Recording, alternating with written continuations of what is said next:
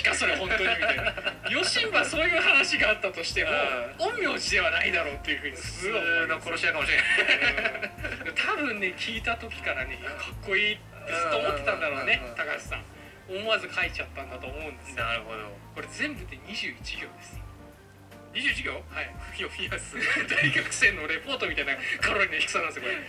大学生のレポートにしてもお前もうちょっと書けただろうの表紙だよね言われるやつね。ねしかも地に足ついてないの内容が。ずーっとふわふわしてるのこれがねいいのよ。あ面白そうだな。それすごい。そう。なんかあの内側からにじみ出るワクワク感が筆に全部出てんの。高橋さんと。あなた？あなた？学術雑誌でこれをやるなんてなんて着物触った人なんだと。あいいね感動しちゃうんですよね、うんうんうん。で実はねこの頃とあのこの後ぐらいまでは、うん。まだね完全に巻末じゃなかったんですよ確か。巻末を飾った。実はリフォームって快適なだけでなく省エネにもなるんです。例えば三重ガラスにすれば断熱効果でお部屋涼しく省エネにそして浴び心地大満足のシャワーが今までの半分のお湯で省エネに自分や家族の幸せが地球の幸せにつながっている。いつもお幸せにリキシル過去最大の補助金もでね次のねえ1988年「怪雑行2、本庄七不思議」っていうねタイトルの回なんですけど、これね無難。あら。これは無難だし、それどっかの本に書いてあったことを並べた？みたいな。そのあのねこの回の構成としてはですね唯一リアリティっていうかオリジナリティがあるとしたら、どうもこの時高橋さんは現地に行ってたっぽいんですよね。おお現地っていうのはどこかっていうとその本所なんですね、うん。本所ってどこかわかる？本所ってどどこだなんかわかんない。どこだっけ？東京都墨田区あ墨田区ねここでねあの江戸時代に伝承されてた世間話の栄養7つあるんですけど、うん。でね釣るとまあよく釣れる。それはそうです。みんな釣らないから、ね、いっぱい魚釣ってそうだね。釣れるわけです。でビッグいっぱいにねうん。魚も詰めて。はいいや今回大量だったと。うんで帰ろうとするとどこからか「置いてけ置いてけ」って聞こえるわけですよ。なんだと。置いてくわけないだろってあの走って逃げるんですが、まあ、道中いろんな目にあってのっぺらぼうとかね、うんあって方法の手で家に帰ってきてビクを覗いたら魚一匹もいなかったみたいな。そういう話。まあこれもいろいろバージョンあるんですけどうんね、それからあの明かりなしそばっていう話とかもあります。うん。まあ、あの24時間営業の、えっと、ファストフードだったんですよ。当時のそばって。ああそうね。そうそうそう。だから道の角とかにあ蕎麦屋さんあると思ってパッて行くんだけど誰もなくてそばがないそういう話。いやもうちょっとちゃんとした話をねざっくり言わせていただきましたけどめっちゃざっくりそれから足洗い屋敷とか。知らないえなんか知らない。知らないね、うん。あのねなんか夜屋敷にいるといきなり天井突き破ってでっかい足がゴーンと落ちてきて 足洗えって言われて。有名な。なんだその話。足洗えって言われるんですよ有名な話です。結構有名な話。あそうなんだ多分彼もどっと前から実際に行くだけのバイタリティがこの人にはずっとあるんですよそれはいいねそううんあのね正確に言うとですねあの後にですね実体三部作と僕が呼んでいる三部作があるんですがその実体三部作あたりになるとちょっとあの安楽椅子探偵みたいな仕上がりますね彼の作品の傾向があるんですよ。安楽椅子探偵って言うんだそういうの。あそう知らない？あそののその表現ちょっと初めて聞いた。現場に出ないで、うん。そのえっ、とあのね。情報提供者から話を聞いて、うん安楽椅子それは何々ではないえ単管えっ、と事件を解決する、うん。うん。うん。あのね人たちは安楽椅子あそうなん。だそん。なような、ね、ムーブをねこの後取り始めるなるほどなるほそれはねかなり後の話です、うん。もうもうそろそろ限界が見えてきたな高橋先生もみたいな時期。実体三部作どなるほどね。はい。この動画需要あんのか？今思い始めたけど。いや 高橋さんはもういもう1号目でもうね使われてる。あ、本当に疲れてよかった。1989年の作品ですね。うん。126号怪雑行3。あ雑魚だ。雑行シリーズです。うんうんうん。あの鬼ババという。鬼ババ。鬼ババ。いろんな鬼ババを語ってます。列居して東北中心にあの語られている鬼ババをここから省いてるんですけど、うん。その近所に伝わっている、えー不思議みたいなところで、うん。どう考えてもただのおっさんの気候の話からやってるんですよ。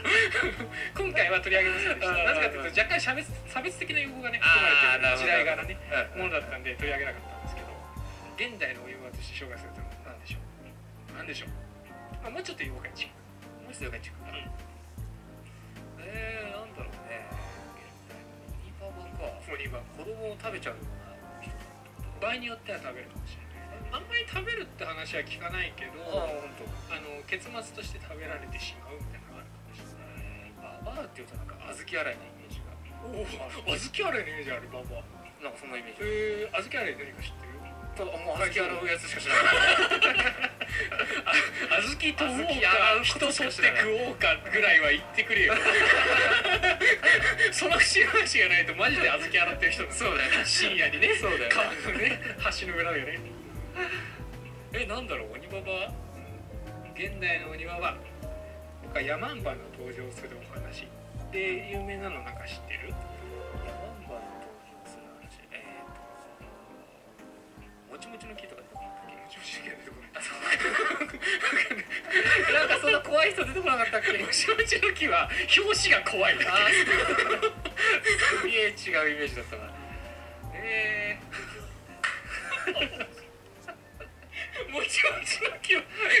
に表紙のイメージだけど 引っ張ってんのね,、うん。ね気持ちはわかるよ。ー、ヤマンバが出てくる話だなんだっけ？出てきたい。出したい出したい。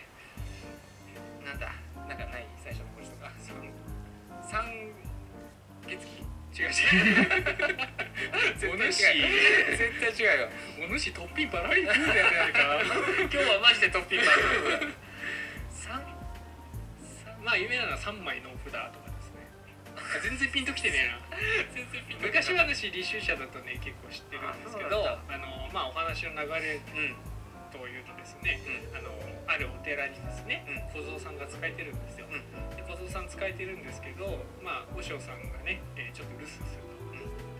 いろいろ確かその話によって経緯がありますし、今回かなりざっくり喋ってるんであれなんですけどあの僕が話す昔話は大体ざっくり喋ってる そういうもんですんで尺の関係がありますので連れてかれます小僧さん、うんうん。でヤマンバの家ね。勝利勝利と。ちょこちょね。まあ今にも料理されますよ。はいはいはいで小僧さん考えます。このままじゃ食べられちゃうよと。どうにかしてヤマンバの目の届かないところに行かないといけない。ということであのティーチミービズ。私にしかできない仕事が多すぎる。ティーチミービズならパッとわかるマニュアル簡単作成。さよなら俗人化。マニュアル作成共有システムティーチミービズヤマンバよ俺はトイレに来てと、川屋連れて川屋行きてえからこの紐とりあえずぐるぐる巻きにするのやめて、あのお腹に巻くだけにしてくれなるほどなるほど。理由ですよ、で鬼ババの方もですねこれから食べるものから尿が出てくるのは見たくないわけですまあね。ね。でしょ汚いでしょ、うん。だから、まあ、旅行に行く、で連れて行く文化的な生活レベルが高いことを言いました。なるほど。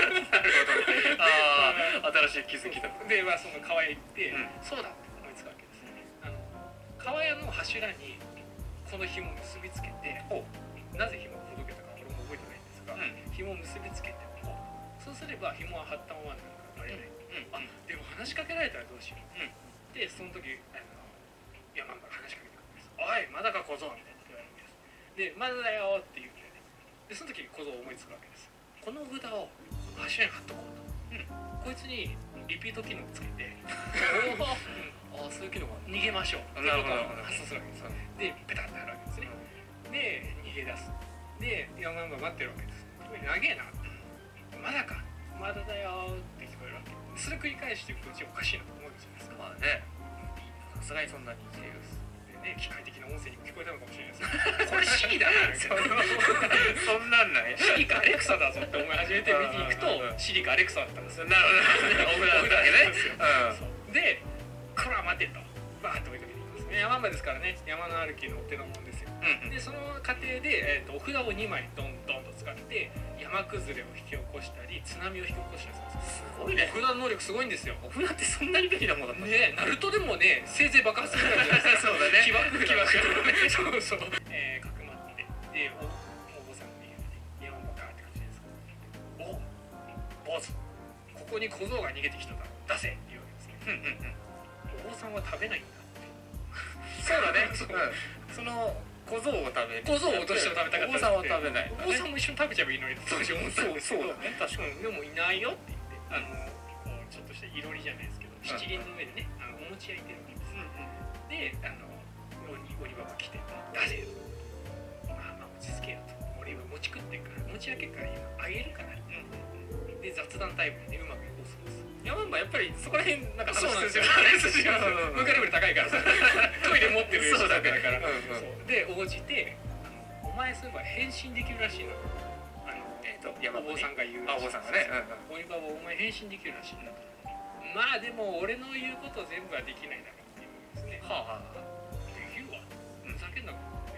坊主がよって言って。うんでお坊さんが言うわけです。じゃあ今の今よりもっとでかい体に変身してみろいう。わけ無駄な方が一緒に変身するわけです。おおやるじゃん。坊主言うわけですね。